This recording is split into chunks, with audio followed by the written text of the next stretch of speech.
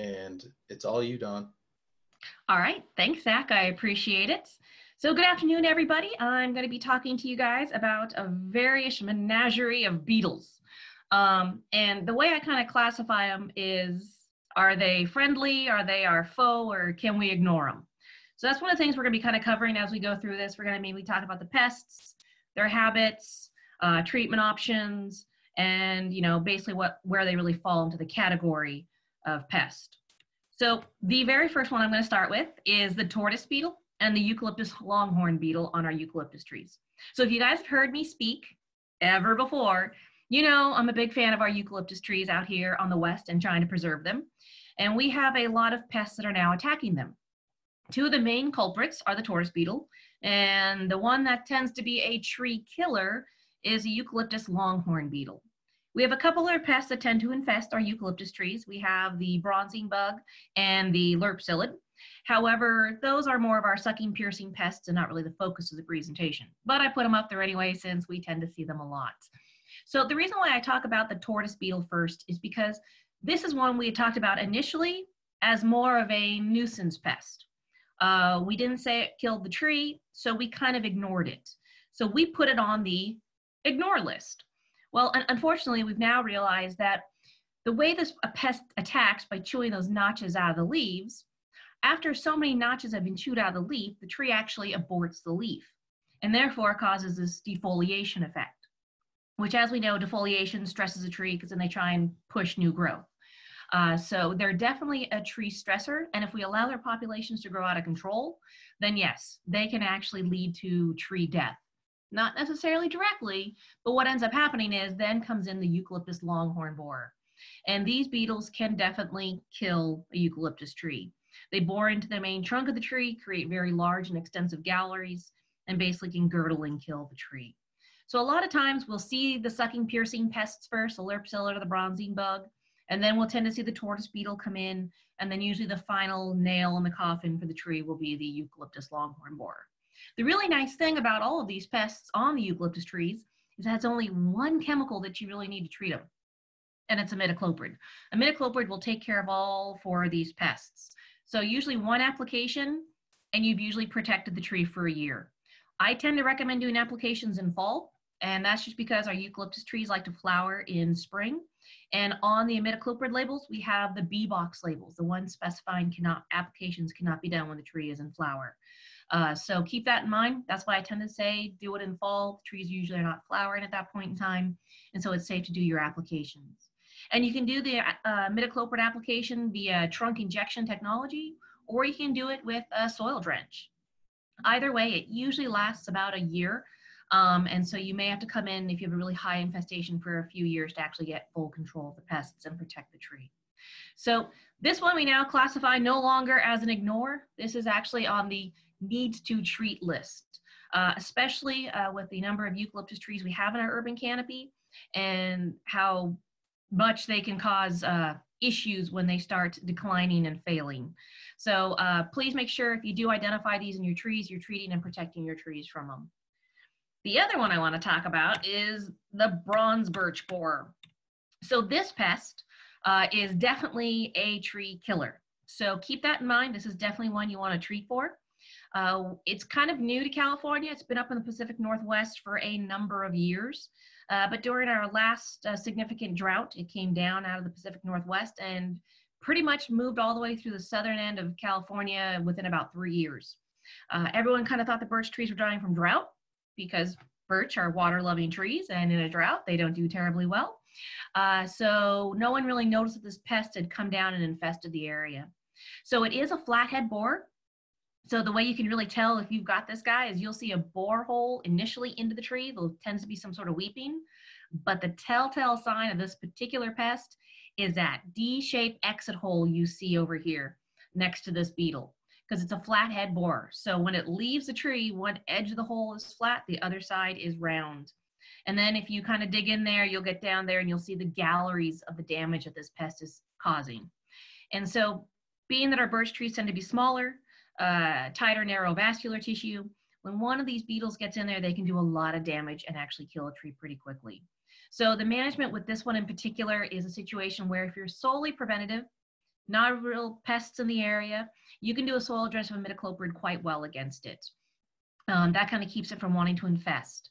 However, if you already have an attack by this pest, and so you got a few trees in the area, you definitely want to bump up uh, your, your treatments. You want to go into more of a trunk injection application methodology with this one. Uh, if it's just in an auxiliary branch, sometimes you can just prune that branch out and then treat and protect the tree. Uh, however, if, if you've kind of started getting infestation where you've already maybe had a tree die and you've got attacks on other trees, you definitely have to move up and start using emamectin benzoate against this pest. Um, usually, I'll say if an infestation is severe, uh, the trees will die within one year of the infestation coming into the area. If it's a kind of minor, then you might have a couple years uh, before this pest starts wiping out the trees. But it is one of those things, the more stressed the trees are, the more likely this pest will infest. So this is definitely one of the beetles that is a foe. Uh, you definitely want to be treating for this one. And do be aware that uh, you do have to water these trees quite extensively uh, to keep their health during our, our stress conditions that we tend to have here in California for them. So that's our bronze birch borer. Now we're gonna get into thousand cankers disease of walnuts. So I talk about this one. Uh, it's mainly in our black walnuts and the beetle's actually bringing in a geosmithia disease. And the reason why I talk about this one is because black walnut is throughout California, the West. It's, it's actually pretty heavily planted in some of the East and the, in the Midwestern or mid uh, Eastern states. Um, but out here, we don't tend to pay too much attention to our black walnut trees. Uh, we don't have a whole lot of them, but usually the ones we do have are very large, mature specimens. And what will tend to happen is you'll notice a dead branch at the top. You might think it's been broken from wind or, you know, maybe it's just something happened. Maybe a canker got in the branch and the branch dies out. Well, very quickly, almost within six months, you'll start noticing decline throughout the rest of the tree. And that's just because this disease is being vectored by this small beetle that basically does a mass attack. And so the beetles actually was vectoring in the disease. And so everywhere the beetle attacks, it introduces the disease. And that's part of the reason why we call it thousand cankers, is because you get these mass attacks, so you get these thousands of cankers, and they eventually kind of coalesce and they eventually just girdle out and kill the entire tree. So you can kind of see in the photos that the beetle does damage as well because of the galleries they're creating uh, underneath the bark and the phloem and xylem, but also because of the canker infection that's actually associated with where the beetle is entering into the tree. And so that being said, whenever we're dealing with a pest like this where we have an actual insect vectoring and a disease they're bringing, we're almost always having to do a combination application of insecticide and fungicide. So kind of keep that in mind when we're dealing with this one. You have to be very aggressive. You definitely want to prune out dead, uh, prune out any sort of infested wood, uh, and try and maintain the tree you have. Uh, so because they attack throughout the entire tree, uh, bark sprays are actually quite difficult. Uh, so we tend to go to the trunk injection methodology with emamectin benzoate on this one. So kind of keep that in mind. There's a few different fungicides uh, you can use. Um, I know we've been doing our trials with propiconazole uh, that have been working. The only problem we run into is uh, the trees are fairly sensitive uh, to that chemical compound. So sometimes we'll get marginal leaf burn. So though this is a pretty destructive pest, we definitely classify him as a foe and needs to treat for. Um, we try and do our treatments in the fall. So if there's any sort of uh, marginal burning of the leaves, they just drop off at the end of the year and the tree leaves out in the spring, uh, protected and healthy. So with this one, uh, keep an eye out, watch your black walnuts. It's a main one it attacks. Um, and right now, if you go on, there's some research still being done, particularly on this pest by UC Davis. Uh, so you can find some updates there. All right, Dutch elm disease, an oldie but a goodie. I know I say that because if you guys remember, Dutch elm disease kind of swept through the US back in the oh, 80s, 90s. Um, and then it kind of went quiet. We kind of forgot about it. I don't want to say we forgot about it, but maybe knowledge was slightly lost. Um, and now we're starting to see a resurgence of this. We've seen it up in uh, the Seattle area, uh, Portland, Oregon area. We've seen it in Sacramento, in California, and San Jose, and it's made all the way down to San Diego now. We're getting reports of it. Uh, so it's kind of made its way down the west again. Um, and the reason why we're kind of concerned about this one is because if we do have any nice American elms left, odds are it's, you know, they're quite old uh, and, and, they're possibly a heritage tree at this point for us because uh, they survived pretty much the last infestation. Uh, so the biggest issue with Dutch elm disease is the actual disease uh, that is vectored between the trees. So it's a fungal infection, and it can be vectored by these beetles, or it can be just transmitted by root grafts. If you have a nice, beautiful tree-lined street of American elms and their roots have all grafted together, they can literally just pass the disease from tree to tree down the street. So unfortunately with this one, it's kind of difficult to control. Uh, if you are in kind of a standalone situation, you might be able to protect the tree um, by giving some sort of bark spray or trunk injection product uh, to, to mitigate the pest. Um, but you also have to do the fungal treatment. Uh, so we've been using propiconazole on this very successfully. It's, a, it's a micro injection of it as opposed to doing those big macro injections back in the day with Arbotect. Uh, we've got we've gotten past that. We've made it easier, um, and it's something you have to pretty much do every two years after the tree has been infected. But the reason why I bring this one up is because a lot of people say it looks very similar to fire blight. Uh, the way we tend to identify it is somebody calls in saying, hey, you know, my elm tree has fire blight. And we're like, well, elm trees don't get fire blight. So let's take a closer look and see what might be going on. And sure enough, we'll get out there and we'll, we'll check out the symptoms and we'll see the death and the dieback. And uh, sure enough, it's Dutch elm disease. But you can see it still gets that kind of dead branch, the leaves hang on, it kind of crooks. Um, but when infection, uh, their tissue. Oh, that's not good. My internet connection's unstable. Uh, hopefully I don't lose you guys. If, if I do, I apologize. Um, but also you'll see there on the trunk, you can see those tiny little uh, holes where the beetles have been. So that's how you can also see if you're being vectored by the pest. Um, usually that's the main way the disease is vectored, unless you have a bunch of elm trees growing together in a park or on a street, and then it can also be vectored by the root grafts. So like I said, some people do insecticide preventative control uh, against this, especially if they know uh, the, the vector and the diseases in the area. Um, however, people don't tend to usually start treating the trees uh, until they actually have the fungal infection and then they can keep treating to suppress the disease. So that is our Dutch elm disease. So start looking again for that one since it, it seems to be rearing its ugly head again. And since we're on the elms, let's talk about the elm leaf beetle. So again, we're back in the beetles. And when we talk about friend, fro, or those you can ignore, um, this is one of those pests that do a lot of foliar damage. It, it feeds on the foliage. You can see the, the, canopy of the tree can easily be lost if you have a really bad infestation. Um, the trick with this one though is if it's a minor infestation, it's much easier to control than if you have a major infestation. And the when we tend to see major infestations take place is when we've seen under treatment of chemicals. Um, so the main chemical people tend to use to treat for this one is imidacloprid. Uh, they like to do it as a soil drench, but unfortunately, sometimes we don't get the right concentrations, or they might be a line of trees, so people have a tendency of just doing their injections and hoping it kind of disperses and evens out. And unfortunately, if you get that underdose, you really don't get good control of this pest. Uh, so that's why we tend to say don't even try and spraying. Spraying is not usually a good option. Uh, soil drench as a kind of a preventative or low maintenance is fine.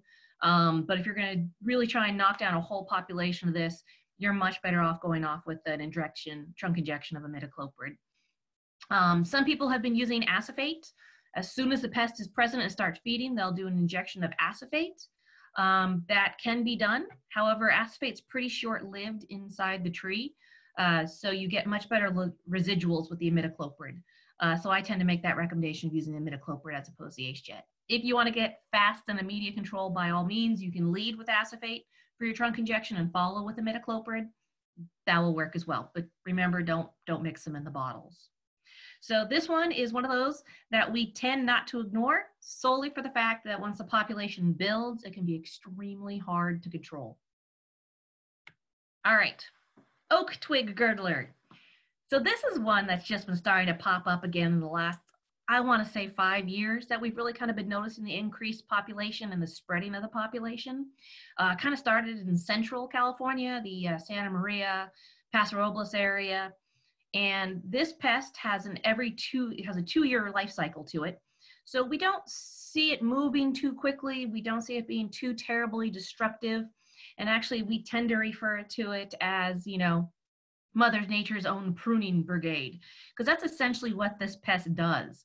So if you'll kind of see that picture on the bottom uh, left, you'll see that on the oaks, you'll get these kind of like twigs or branches dying out towards the end. And so essentially what's happened is this little guy has boring in, got the larvae in there. It ends up girdling that piece of uh, uh, tree tissue and killing out that branch.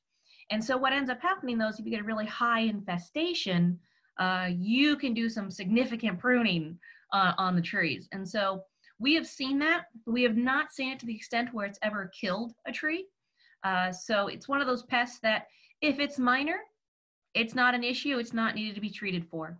If it's a major infestation, the trees are already stressed, then it is something you might want to consider treating for. Um, we tend to say go with the emamectin benzoate on this one because that chemical lasts a minimum of two years in the tree. And since we're working on a two-year life cycle with this pest, it, it, tends to be the best option. But it tends to be one of those one applications and done. Um, but we now have seen it spreading more throughout uh, California uh, and just had some reports of it up in the Reno area. So be aware of it. Uh, it is kind of coming back, and uh, unfortunately, major infestations on stress trees can be killers, but for the most part, we tend to ignore this one. the western oak bark beetle. This is a native beetle that likes to attack our oak trees. And this has always kind of been on our ignore list because it is native. It only tends to rear, rear its ugly head when we get into drought conditions and their populations tend to grow. But for the most part, our native oaks are fairly used to this pest, um, and they're not terribly destructive. So that being said, we've pretty much always had this guy on our ignore list. Uh, until recently, a few years ago, he started vectoring this disease called foamy bark canker disease. It's another type of geosmithia disease. And so in this case, the beetle bores in, it carries in the disease. The disease causes this kind of foaming or sapping nature looking to the attack sites. Um, and it's actually this disease that is killing the tree. The, the geosmithia disease gets in there and girdles that vascular tissue and can kill the tree off actually quite quickly. And again, it's partly because you get this mass attack, so you get real dispersal of the fungal agent, and therefore can quickly uh, girdle and, vas- and clog up the vascular tissue. Uh, so right now with this one, uh, we've been doing injections of uh, uh, emamectin benzoate for it. Uh, we've been seeing people do bark sprays, uh, uh, pyrethroids, um, and things of that nature. Um, on our coast live oaks, uh, if they're a more uh, immature tree, the bark's not so thick, the bark sprays have been fairly effective. On the older, more mature trees, unfortunately, the bark sprays just have not been able to penetrate well and get the correct uh, dosing in there to actually be effective. And on the red oak trees, when this pest attacks a red oak tree, the whole oak just turns wet. It looks like someone hosed the tree down with water. Um, most of the red oaks succumb very quickly. Uh, by the time someone identifies what's going on, the tree has pretty much been girdled and dies. And it's partly because of their different growth habit. Uh, coast live oaks like to be um, kind of thick bark, multi-branching, whereas our red oaks aren't. So once they get into that main stem, that main trunk, uh, they can girdle it off pretty quickly. If you have a multi-branching oak and one branch happens to get this infection, cut it out, uh, chip it if you can, solarize it if you can as well, um, and uh, treat the remaining branches, and you should be able to save the tree. But remember, you're going after the disease as well as the fungal infection. Uh, and again, uh, the propiconazoles, zols, uh, they tend to work well for geosmithia infections. So that is one way we can kind of treat and protect for this one. But this one, again, it falls into the foe category now because of the disease it's vectoring. We still see Western oak bark beetle out there. Not all of them are vectoring the disease, but you can clearly tell who is by the, the foaming cankers on the tree. Oh, sorry, this was the close-up of what it looks like of the uh, geosmithia actually causing that girdling effect in the vascular tissue on the tree. And that's just a quick close-up of what it looks like when you get that foaming or oozing out. Um, if you have a western oak bark beetle attacking the tree, you'll see a lot of frass coming out. They create a lot of frass on the trunk of the tree. Uh, so you'll tend to know that you have the western oak bark beetle there. Um, but until they start weeping or foaming, uh, you don't have to worry too much because uh, they don't, they're not currently vectoring that foamy bark canker disease. Okay, gold spotted oak borer. Uh, so this one, friend foe or those we can ignore, definitely falls into the foe category. Uh, he is another one of our oak killers. Uh, he will uh, destroy and kill oak trees. He prefers our coast live oaks. Um, but he will also uh, get into our black oaks, valley oaks. Um, but this one is kind of unique in the fact that, again, it's a flathead borer. So when it attacks a tree, it's going to create that D-shaped exit hole with the rounded side and the flat top. So that's what kind of makes it the marker of identifying what's going on. When you first look at the tree, you'll kind of notice a thinning of the canopy. Uh, and you're like, okay, this tree looks stressed. Let's see what's going on. Maybe it's drought, right? That tends to be our first go-to here on the west is drought. Um, you kind of get it closer, and then you might start noticing that there's kind of some sort of, uh, you know, kind of like oozy and dark spots on the tree. That's pretty much where the pest has landed, laid its brood, and the brood is bored in. And then that brood is going to create galleries underneath the bark. And when they exit, that's when you get those D-shaped exit holes. So just know that when you once you found those D-shaped exit holes, the pest has been in the tree and it has caused damage. Uh, and it's now leaving that tree and flying out to more trees. So um, whenever we actually identify this in an area, we always say you need to get on treatment immediately. Um, it's if it's kind of suspected to be in your in your area, uh, soil drenches of imidacloprid have been kind of the preventative protocol. Um, but once the pest is actually in your area, uh, you're much better going to the trunk injection methodology and getting the full dose inside the tree. Uh, you can do the imidacloprid, which will last a year. Um, they're still working on the research for the emamectin benzoate to last two years. Uh, so hopefully that's something we'll, we'll know here soon and, and, get research confirmation on the emamectin benzoate. Uh, this is what the larvae actually look like inside the tree. If you want to cut into one of those oozing areas on the tree, um, you might be able to find one. Uh, you'll also be able to see the galleries underneath the bark to help you identify what's going on. We are tracking this pest, so if for some reason you do happen to find and identify it, please do report it. Uh, you can tell me, you can call your county ag, but yes, please report to someone because we are tracking this. Uh, we want to see how it's moving. Currently, it's made as far as the Los Padres National Forest um, or Los Angeles National Forest, um, but it's going to move in firewood. So it's going to move quickly when it does. So it's really important that you're kind of keeping your eyes out for it. And it's one of the few flathead borers that we actually have attacking our oak trees. So if you see flathead borer, be suspicious, do a little more research and, and, and get into finding out what's going on on this one.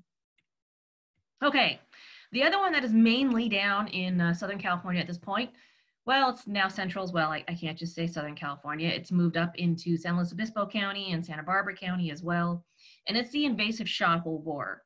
Uh, you may have heard it referred to as the polyphagous shot hole, shot borer, or the polyphagous shot hole borer, or the Kuroshio shot hole borer, or the tea shot hole borer. Yep, now you can see where we've just come together on one name, and we're calling it the invasive shot hole borer. Uh, they're an ambrosia beetle that are all very similar. Uh, they're just kind of slightly different at the genetic DNA level, but they have the whole same idea where these beetles actually bore into the tree and introduce a fungal infection again. Just like we saw with the thousand cankers disease, it's the same idea. You get this little ambrosia beetle, but the difference with this one is the beetle's not actually feeding on the tree. It's boring into the tree and it's actually bringing the fungal infection with it. And then it grows that fungal infection inside the galleries in the tree and it feeds on that fungal infection. It lays its brood in the galleries and then the brothers and sisters in those broods mate. So when they come back out, they're all ready to bore, uh, they're already pregnant and ready to bore right back into trees. So they can have a very short life cycle of only six weeks, um, but they do seem to have peak seasons of when they're flying and when they're reproducing. And they do kind of have, I don't want to say optimum temperatures, uh, but if you'll find during the hot summer, you'll notice them on the north side of the tree where it's a little bit cooler. And if it's kind of more of our winter months, you'll find them more on the south side of the tree where it's a little bit warmer. Uh, so they're a fairly impressive uh, pest who definitely, once they get into an area, has a great ability to infest because it can feed on over 300 different tree species. Right now, it's only reproducing in about 60 or so, what we call host trees. Uh, and at that, they don't necessarily kill all the trees. So when we look at it as, you know, friend, foe, or those to ignore, um, because it's an invasive pest and because it does have the ability to kill trees, we definitely look at it as a foe. Some people have chosen to kind of put it on the ignore uh, level. Uh, unfortunately, with that, it just allows it to increase its populations and spread. And since it's an invasive, we really try and stop that from happening. So, and if it can get into certain type trees, it, it can be quite detrimental. We've seen probably mostly sycamores, liquidambars, olives, some oaks succumbing specifically to this pest. Uh, we haven't seen too many willows, or actually, I'm sorry, we've seen the willows die out in the uh, Tijuana River Valley, uh, but so far we haven't seen too many of our urban willows die from this pest. So it's kind of an interesting pest in the fact that um, it can do an extreme amount of damage, uh, but it doesn't always necessarily kill the tree. And it's partly because that beetle bores in and it tends to want to go into the heartwood. So we tend to see more damage in the heartwood. We don't see the galleries underneath the bark. Uh, so if you were to say just pull some bark off, all you're going to see is a tiny hole about the size of the lead of a mechanical pencil. And then once you get in further, you're going to notice the actual damage of the galleries. Uh, so with this one, we, we tend to say uh, if you're in the flight in one of the peak flight seasons, which tend to be around April-ish, uh, then again in kind of October, uh, you may want to do a bark spray uh, as well as doing a trunk injection of emamectin benzoate with it. And then for going after the actual fungal infection of fusarium, uh, we found that injection of the fungicides work much better. Um, there's a few different fungicides that work. It's mainly the zols like uh, propiconazole, tebuconazole uh, that work against this in particular. So if you have a tree that has a couple attacks on it, you definitely want to treat with both the insecticide and the fungicide. Uh, that way you can take care of uh, both the pests and the disease. If you're doing this kind of sheerly on a preventative basis, you can get away with just using the insecticide because at that point the uh, fungal infection has not yet been introduced. So keep that in mind, but we do have to use fairly high rates of insecticides against this one. Since the pest doesn't exactly feed on the tree, it's more of an incidental contact, so we have to have fairly high concentrations in the tree for this one. And so there's a little bit more about the actual disease that it's vectoring. Uh, so the fusarium, you can see the staining going on in there. And for some trees, this is much more virulent than others. Uh, for instance, the one I like to use as an example, because we all like our olive trees and they tend to be high value trees. Um, usually the fungus alone can actually kill an olive tree. So you may not even have a whole lot of attack sites, but the fusarium is so virulent in olives that the olives will still die just from a few attacks. So we tend to say be much more proactive against protecting against your olives because of the, the reaction to the fungal infection. So you can see how that infection gets in there. It's introduced by the pest and then it spreads throughout the vascular tissue of the tree. So if you guys have questions on these, I forgot to mention that in the beginning, feel free in the chat box down at the bottom. Um, you can type in any questions and when we get to the end of the presentation, I'll be more than happy to answer any questions for you on this one. Okay, so I like to get, I, I had to include this one, even though uh, a weevil is, is not a beetle. Um, some people refer to them as snout-nosed beetles, um, but they are not. But I include this one because it's a good opportunity to talk about the South American palm weevil, which is another invasive pest that we have in Southern California. And it's one of those pests that can move incredibly quickly just by lack of knowledge. So I pretty much include this one in every presentation I do now. And, and the reason is, is it mainly attacks our Canary Island date palms. Uh, they have found it in a couple other palms, but it seemed to be just hanging out there and not necessarily feeding and being destructive. Uh, so at this point in time, we're mainly looking for it in the Canary Island date palms. And so this is a weevil that gets into the main, uh, basically meristem of uh, the palm tree and feeds on the new growth that is forming and coming out.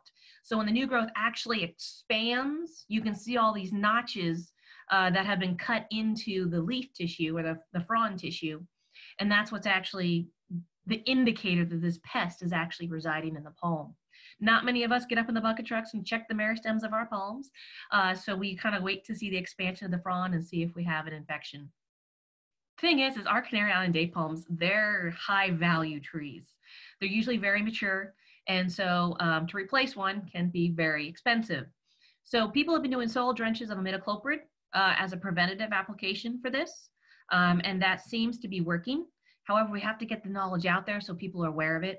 Um, right now, I said it's still in Southern California, um, kind of, you know, really in San Diego County, a little east of San Diego County. We haven't really seen it uh, get up into Orange County or anything like that yet um, in any sort of like infestation level. But the problem with this one is most of our palm trees ship out of Southern California. So if you were planting a palm up in Northern California or even out in Vegas, Problem is, is a lot of our stock comes out of Southern California. So we know the pest is there. So unless you're buying from a nursery who's got a kind of a protocol in place of doing imidacloprid soil drenches as preventative, you're at the risk of this pest traveling with the palm. Because what do they do, right? They, they tie up the palm fronds, they, they then pull down the palm, ship it to wherever it's going. You're supposed to plant it out and leave it tied up until you see the new growth coming out of the, the ties, right? Well, unfortunately, by that time, if you untie the fronds, you're going to see a massive infestation and the meristem may have already actually already been eaten out of it. So we have seen this pest kill. So it's definitely in our foe category. Um, so we're definitely actively treating against this one in particular. Um, so we can do trunk injection if you've already seen signs and you want to get the chemical up quicker to the meristem. Uh, people, that's when people tend to go to the actual trunk injection of the imidacloprid product. So with this one in particular, inspect the palms before they ship out. If you're going to be using palms in your in, in a sort of like landscaping, and then while the palm is still on the ground before it's being planted up, open it up, check that meristem area, see if there's any signs of feeding, just to make sure that you know you're not possibly vectoring or transporting this pest. Uh, and then um, that that soil drench imidacloprid is always a very good option against this one as well. So I know I snuck in a weevil in a beetle talk, but we'll just call him the snout-nosed uh, beetle for now. So the other one that I, I kind of talk about, just because I'm talking about palms and we're, we're talking about beetles and borers, uh, this one is mainly out in uh, Arizona. We've seen some getting into Nevada. Uh, there, there has been some incidents out in the uh, Palm Springs area of this giant palm borer. And here's the fun part. So we just talked about that uh, weevil that attacks the uh, meristem area and the new tissue. Well, this guy is actually more down in the roots. So he, you're not going to really notice you have this one uh, until you see the decline of the palm. And then when you go ahead and remove the palm, you're going to see the damage that this, this borer has done uh, down at the base of your palm and in the root area. So unfortunately, it is quite large, as you can see uh, by the measuring tape there on this guy. Um, and so they can do a significant amount of damage very quickly. And again, it's in our, our bigger palms, our Canary Island date palms and our fan palms. So just kind of be aware of this one. Um, at this point in time, they, they have not found a good control uh, for this particular pest. They've been looking at different types of soil drenches uh, for it. Uh, but as of right now, inspection is your best option if you have a palm declining. Uh, get in there and kind of look to see what might be going on, see if you can identify this giant palm borer. All right, so now we're gonna get into bark beetles. And I kind of put these guys as their own whole classification because there's so many of them. Uh, we have another webinar coming up with the experts of bark beetles, uh, Dr. Chris Fettig and Dr. Groen Grossman. So please, by all means, I think it's coming up uh, sometime in May. You definitely want to jump on and hear that one. I'm going to kind of give you a little precursor on our bark beetles and kind of go over the main ones. Uh, but I always kind of start with the fact that our bark beetles are what we tend to call sleeper pests. I mean, we all know that bark beetles can and will kill trees, uh, but we have a tendency of somewhat ignoring them until it's too late. Uh, and what I mean by that is we might know we have bark beetles in an area, but we try and wait until we see signs or symptoms on a particular tree to actually try and, and save it. And unfortunately, a lot of times by the time you get to that point, it's too late. So this was just a photo that I had taken that I, I wanted to share. The photo, uh, the tree circled uh, in red right here, uh, that photo was taken about three months prior to the photo on the right, where I came back and it already torched red and dead. And essentially, I was out there staring at it in November, and by the time we warmed up at the end of February, uh, the tree had figured out that it was girdled, and when it tried to pull water, it just died and torched red. So usually that's when people tend to call. They already see the discoloration, of the dying of the tree, and unfortunately, at that point, the beetles have already done their damage, and there's no saving the tree. So when we start talking about beetle attacks, we kind of put it in very general terms. Uh, if the tree is still green and healthy looking, it usually means you have some attack sites. You might see, uh, you know, a few attack sites on the trunk associated with it. Once that that canopy has started to turn any sort of off color, uh, that's when we're in stage two. We know the galleries have already been made underneath the bark and has disrupted the vascular tissue. Um, at that point, we know the tree can't be saved. And then we refer as red is dead. That's when you see all the exit holes all over the bark of the pest exiting the tree and moving on to the next one. Um, the one thing I, I, I tend to also harp on is if it's gray, as in the canopy is gray, that means that tree should be removed a long time ago. uh, it's been standing dead for a while. And that's been our biggest issue with bark beetles is leaving dead wood or dead and dying trees standing or just chunked on the ground. Because unfortunately, those beetles can still continue to feed and reproduce in those trees. It's not until they've fully dried out that they're actually no longer a viable food source for the tree or for the for the beetles. So if someone's come through and dropped a bunch of logs, just know that is a breeding ground. Uh, you can cover those logs in plastic and help solarize those trees and stop the spread of the beetles. Or if someone's come through and done a bunch of uh, cuts and they just left these like, you know, stumps out of the ground, know everywhere that that stump still has bark covering it, that's dinner for a beetle. Um, so if you are gonna leave stumps behind, make sure you rip the bark off so that way it dries out and exposes it so it can't be a food source. So the first one I'm gonna talk about is the main pest we have here. It's the western pine beetle. Um, this is our number one pest in the West. Uh, pretty much it's not until you kind of get more towards uh, Colorado where you tend to see the population switch to being more mountain pine beetle. But out here from the coast uh, up into uh, the Sierras, it's mainly the western pine beetle. And so this one has always kind of been noted for going into the lodgepole, the ponderosas. It'll get into our Jeffreys. Um, but we have a ton of different beetle types out here. So I'm just gonna kind of hit the basics on this one. Western pine beetle mainly attacks the, what we like to refer to as the middle third of the tree. It tends not to go for the very tip of the tree and it's not usually down at the base of the tree. It's usually in the middle third of the tree. And you'll usually see uh, pitch tubes on the outside of the tree, about the size of oh, a wad of gum usually. So these beetles uh, tend to want to fly in the warmer months of, you know, May, July, or May, June, July, August. Um, however, I will say we saw documented attacks of western pine beetle uh, the second week of February this year. It was just because we had a really warm, dry February that these beetles already became active. So keep that in mind. Uh, we pretty much at this point will probably see them flying through October. Uh, so this should be a bad year for bark beetles. And if they're correct in predicting that we are going to be in another drought, then we know these beetles are just going to be that much more successful because that's how a tree protects itself against bark beetles. If the tree has water, it can just pitch and sap those beetles out, and then the beetles can't reproduce and we keep low populations. When the trees are drought stressed and they don't have water in their vascular tissue, they can't fight those beetles off. And therefore, the beetles are successful, their populations grow until they get to lethal levels. And that's when we start seeing the dead and dying forests. So if we're in the urban canopy, feel free, water your tree. That'll definitely help. And then watch for these pests. Keep an eye on, see if they're invading, see if they're in the area.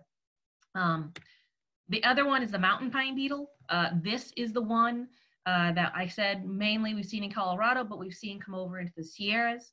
Again, it attacks in the middle third of the tree. Uh, the beetles themselves look very similar. Not going to really notice the difference with your naked eye. Uh, and their pitch tubes are about the same. So how do we identify the difference between them? It's their galleries and it has the tendency to be uh, the trees that they want to attack first. So this one also is a main vector of blue stain fungus. So it, it's one of those scenarios, other beetles can vector this disease as well. Uh, we found that it was more prevalent in the mountain pine beetle to vector it in initially, and so they have a tendency of wanting to bring it in. Uh, but as you can see, it gets into lodgepole, ponderosas, Doug fir, white pines. Um, we tend to see a, a, pretty broad spectrum with this, particular fungal infection. So again, we have a beetle attacking and bringing in a disease. So we have to do that combination application of insecticide as well as fungicide. So I always classify bark beetles as foes just for the fact that they kill trees and we're trying to save trees. Um, but this guy always makes it to the top of the list since they are, are very much known for bringing in the blue stain fungus. But the western uh, pine beetle can carry it as well. So the other beetle that I want to talk about that is similar but very different is the red turpentine beetle. So we have this one throughout California. Seems to be a little bit more prevalent in the Monterey area at this point, but we've seen quite a bit up in the Sacramento. Uh, we have seen some out in Yosemite. Uh, so what this one does, it doesn't really fly to the tree. So it tends to attack the bottom third of the tree. It climbs up the tree and then goes in. And so this beetle is actually significantly larger.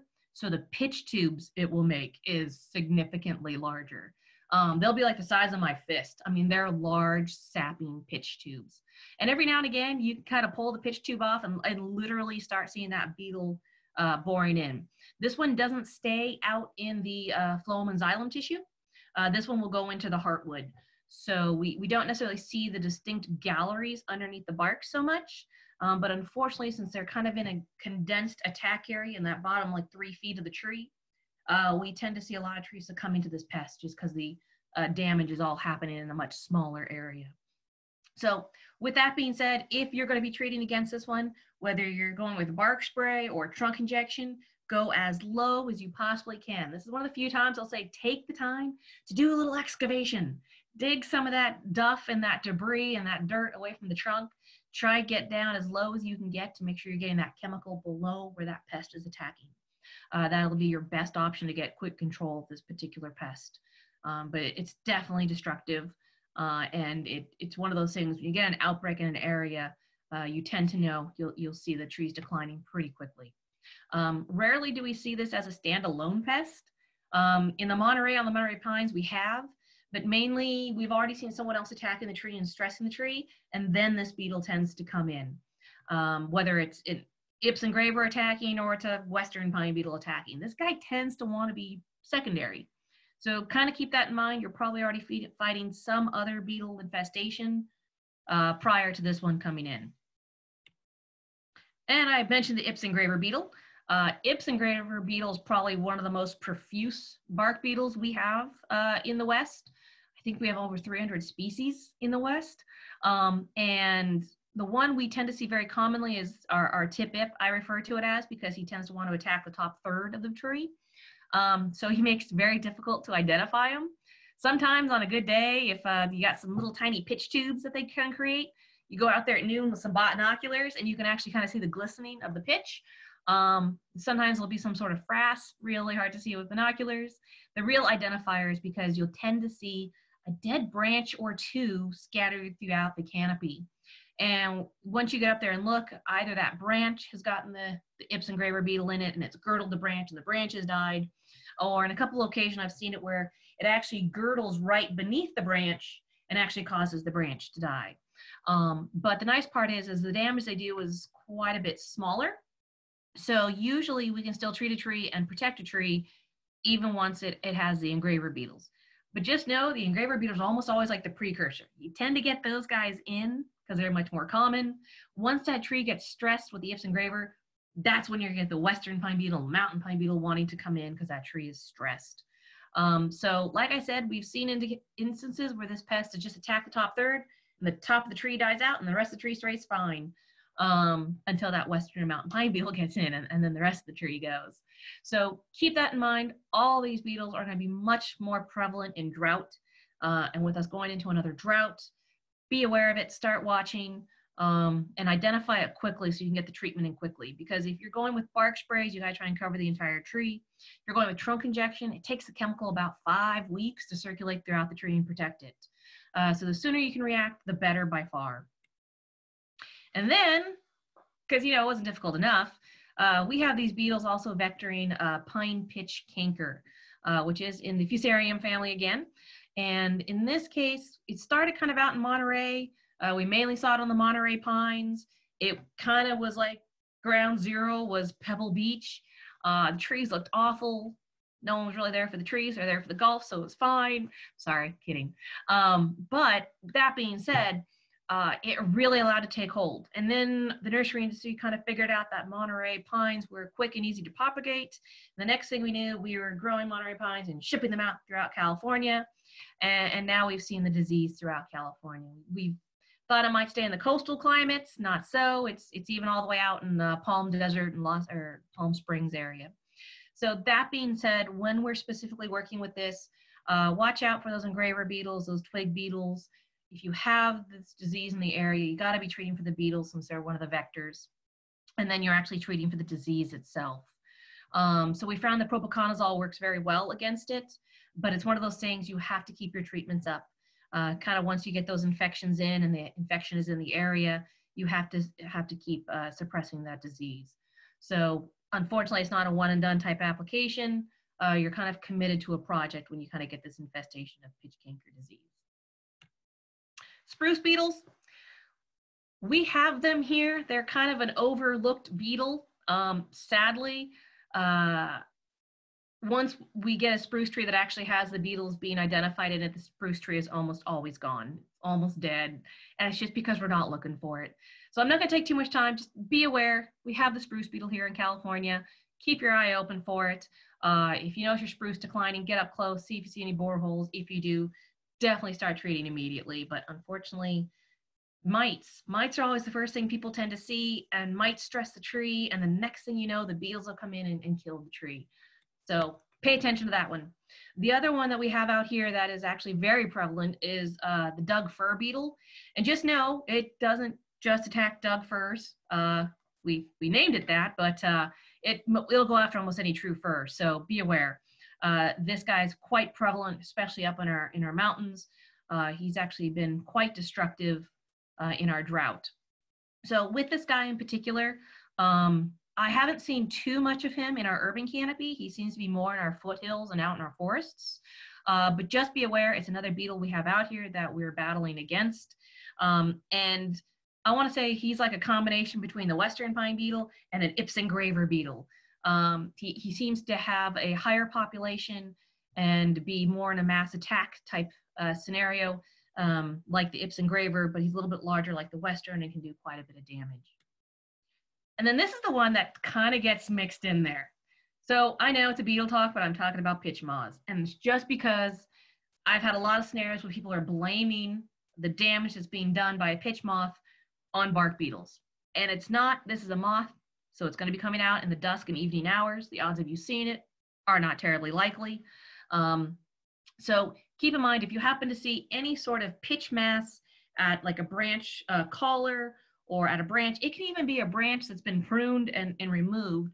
These guys almost always go into the branch collar. And so you can see the larvae in there, they're quite large. Uh, it's not a massive infestation. They kind of stay in that pitch area. So if you happen to want to climb a ladder, get up there, reach that, uh, just kind of rip that pitch mass, mass off, odds are you'll be able to find that larvae in there and you can literally just pull it out. Uh, so this one in particular, just be aware of it. It's been mistaken as a bark beetle, but it is not, and it almost always goes into branch collars, whether there's a branch there or not. Um, it's nice that the treatment's the same. They're, they will be uh, taken care of with emamectin benzoate as well. So if you did happen to misidentify, you're covered. Uh, the same chemical will, will work for it.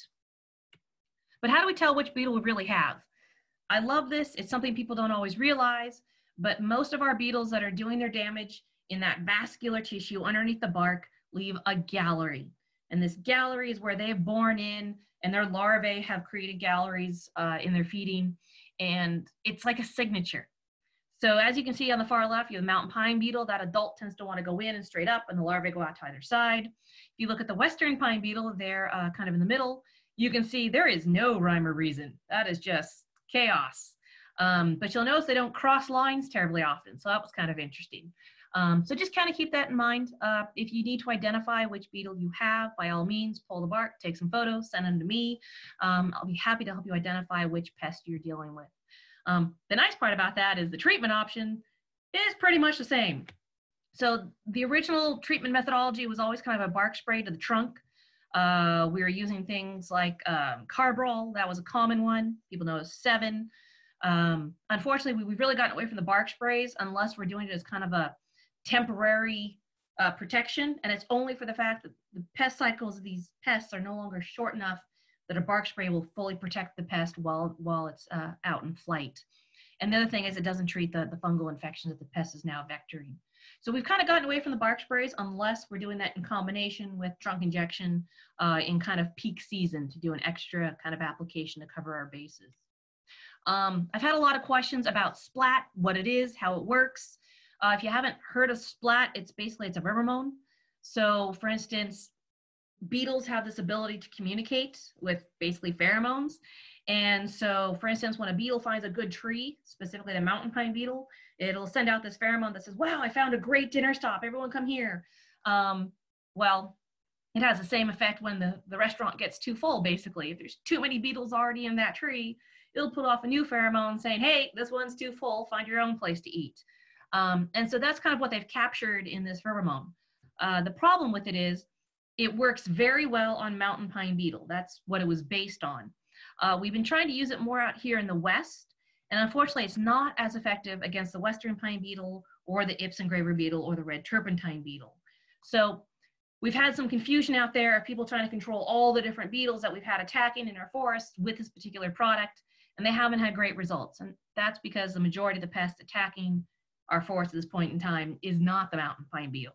He is one of the five pests that tend to be out there attacking the forests, um, but repelling the one doesn't really tend to do a whole lot of good. So we saw great success with this product uh, in, in Colorado where they did have mainly a mountain pine beetle outbreak. Uh, and they were able to help protect some trees with this methodology. Uh, but as for us here in the West, it, it's not terribly effective. It's rather inexpensive, as you can see. Um, and it's one of those things homeowners like to be able to go out and do something on their own. We just have to make sure we don't have any false expectations uh, of how this is going to work. They're going to keep the mountain pine beetles off, but that's about it. There's a good chance the trees will still succumb and die from western pine beetle or ips or, or red turpentine or Doug fir, all the other myriad of beetles we have out there. So I always tend to recommend uh, the ArborJet trunk injection methodology, the measure, the drill, the plug, the inject. You can use any one of the systems to do these applications now with all the different uh, triage chemicals we have available. Um, but the whole idea is you're putting the chemical inside the trunk of the tree, in that xylem phloem tissue where the pest is actually feeding. So this is one misnomer that I want people to understand is what happens once this chemical gets actually in the vascular tissue and the beetle has to bore in and get that chemical. So you will still see attack sites, but the thing is we're killing that pest. It's not going to reproduce, it's not going to fly off to another tree. We're actually reducing that population. So it's a very important way of understanding how we can really protect our trees and reduce their populations. And of course, the most important part is the chemical stays trapped inside the tree. It's not in the air, it's not in the soil, it's not in the water. We can do this in riparian areas, we can do this alongside streams. Um, so that's one of those big things we tend to run into with doing our applications is, is people need to be able to do it in a, uh, a safe manner.